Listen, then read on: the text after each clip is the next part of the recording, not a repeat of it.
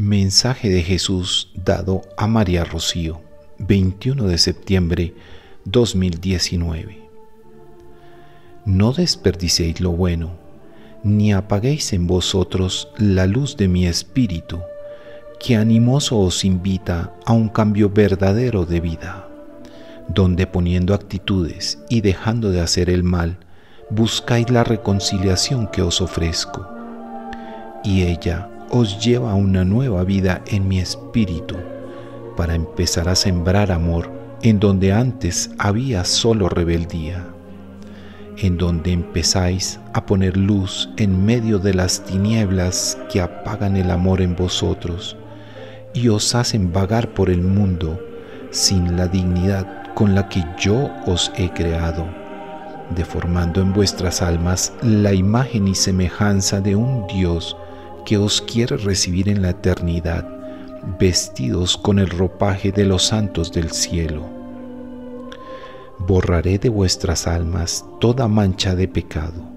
y les vestiré de nuevo con el vestido de mi amor,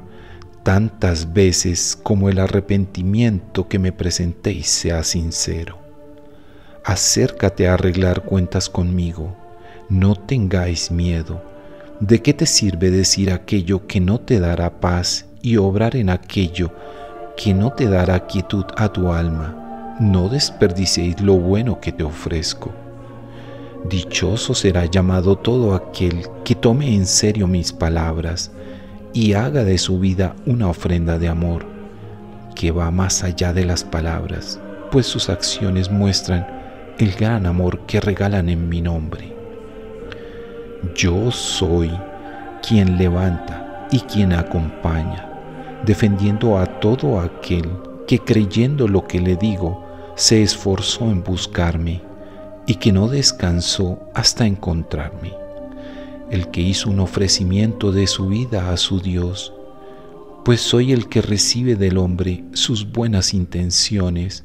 y las devuelve cargadas de gracia. Yo, Jesús, os hablo